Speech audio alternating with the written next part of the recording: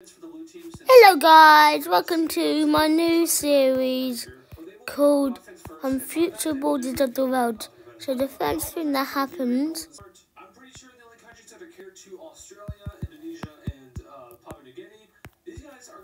Unfortunately, Ukraine is no longer in Belarus, joins in Russia, and but soon the, the Commonwealth will happen with these two countries.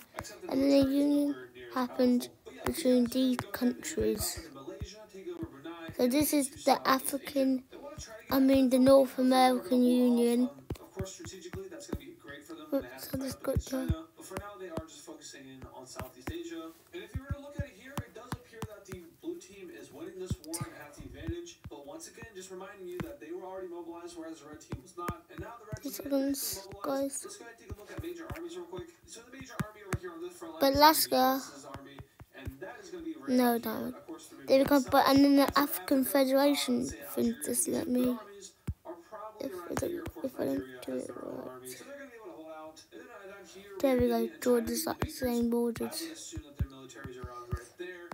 Okay, so they have these people in the union. Over in South America, they get up to the border of Nicaragua, and it is here that they decide to